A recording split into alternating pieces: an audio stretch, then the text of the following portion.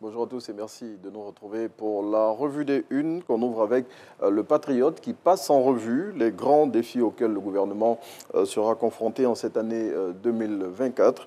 Euh, ce sont notamment, selon le confrère, la réussite de la Cannes 2023, la livraison des différents ouvrages routiers ou encore la lutte contre la vie chère. Selon le Patriote, les autorités ivoiriennes entendent se donner les moyens pour relever tous ces challenges.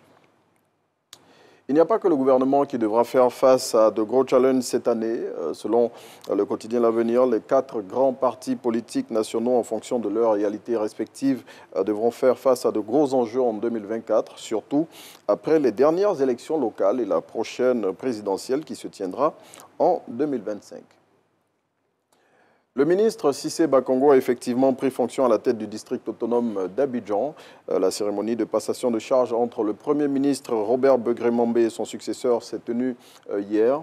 Euh, Fraternité Matin, qui fait le point de cette activité, révèle qu'à cette occasion, le gouverneur sortant a traduit sa reconnaissance au chef de l'État Alassane Ouattara, sur lequel il a fait des confidences.